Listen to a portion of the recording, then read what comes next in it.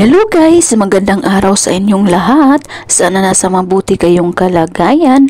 At for today's video guys, ipapakita ko sa inyo kung paano ko niluto ang aking kangkong recipe. So yan guys, makikita nyo ang aking prepare dyan.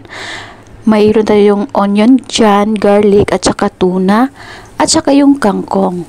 So inilagay na pala natin yung garlic at saka yung onion. Mix lang natin mabuti hanggang sa lumambot yung onion at saka mag-salt siya.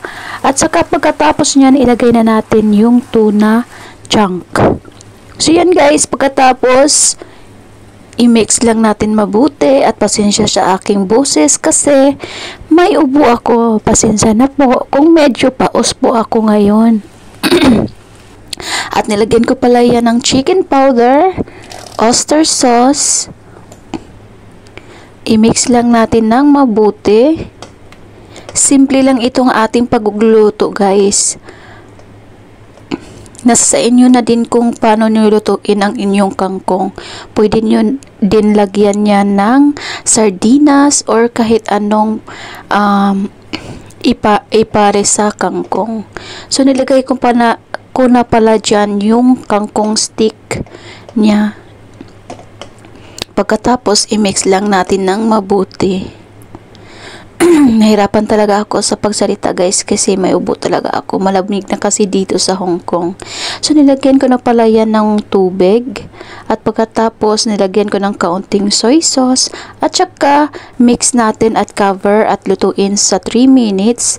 At pagkatapos ng 3 minutes ilagay na natin yung dahon ng kangkong. So yun guys na ang ating ginisang kangkong with tuna.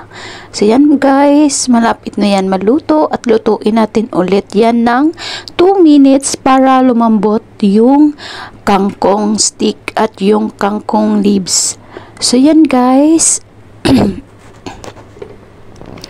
takpan lang natin at lutuin nga natin ng another 2 minutes. So after 2 minutes guys, our ginisang kangkong with tuna chunk is already prepared at luto na siya guys.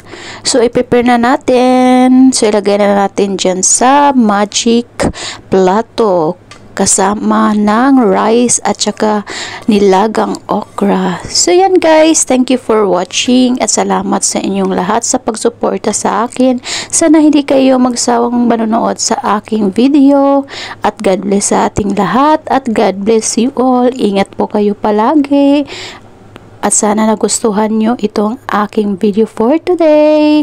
Simpleng ulam na pero masarap na masarap. So guys, thank you for watching and bye-bye. God bless you all.